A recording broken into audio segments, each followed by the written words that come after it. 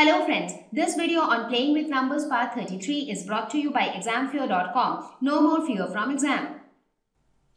Now let us find out LCM in a smarter way by prime factorization method.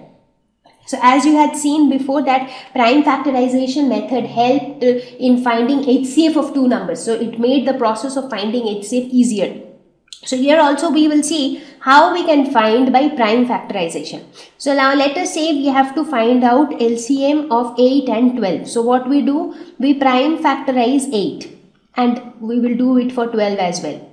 So this is what we get. So we can write 8 as 2 into 2 into 2. In a similar way we factorize 12. So 2 6 is a 12, 2 3 is a 6, 3 1 is a 3. So basically 12 is equal to 2 into 2 into 3. So till here the process remains the same as it was for HCF. But in this case we have to find LCM. So basically we are looking at multiple and we are not looking at the factors. Now here what we do is what are the prime factors that are involved in this case? So the prime factors involved here. So prime factors involved are 2 and 3. So 2 is getting repeated a number of times, again 3 is getting repeated some number of times. But the prime factors which are involved in the entire scenario is 2 and 3. Now 2 occurs how many times? So in case of 8, 2 occurs 3 times and in case of 12, 2 occurs 2 times. So 2 occurs for maximum how many times? 3 times. Right? Because in case of 12, 2 occurs 2 times. In case of 8, 2 occurs 3 times. So which is more where 2 occurs for maximum number of times? It occurs for 3 times in 8. Similarly, where 3 occurs maximum number of times? 3 occurs maximum number of time 1 time in 12. Right? Now when we have to find LCM, what we say?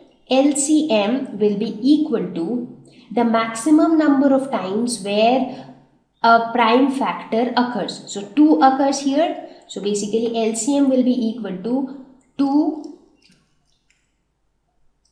into 2 into 2. This multiplied by the maximum number of times the other prime factor occurs. That is 3 occurs one time. So this is equal to 2 to the 4 to the 8 into 3 24. So LCM of 8 and 12 would be 24. So basically what do we do here is we do not look for common factors. Here we look for those factors which occur maximum number of times because we are looking for multiples here. We are not looking for factors.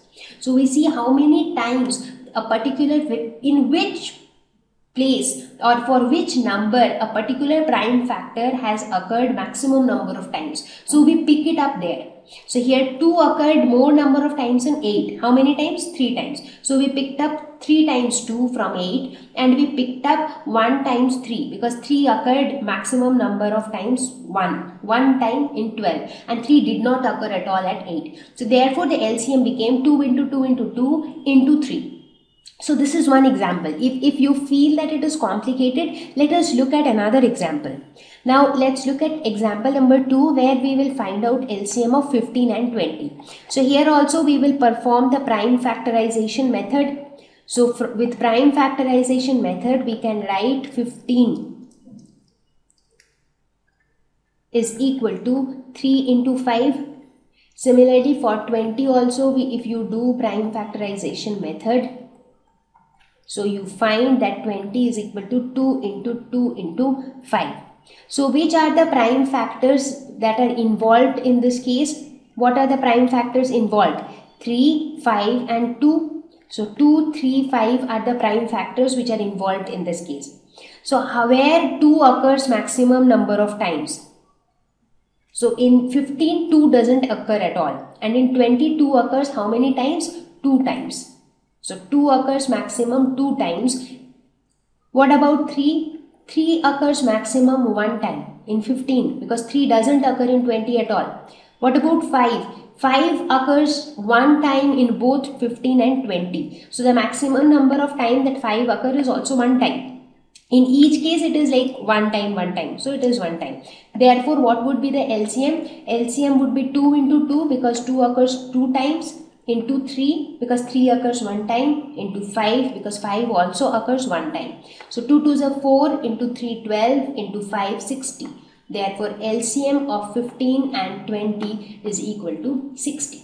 So, this is how we find out LCM by prime factorization method.